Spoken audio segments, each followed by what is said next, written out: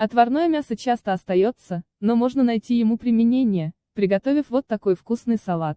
Добавьте к мясу помидор, сыр, чеснок и заправьте майонезом. Салат получается сочным, сытным и вкусным. Салат с отварной индейкой, помидором и сыром – очень вкусное и сытное блюдо. Его можно подать на закуску или на второе в обед. Готовится очень просто и быстро. Следует мелко нарезать мясо индейки, помидор, натереть твердый сыр, добавить чеснок и заправить все майонезом.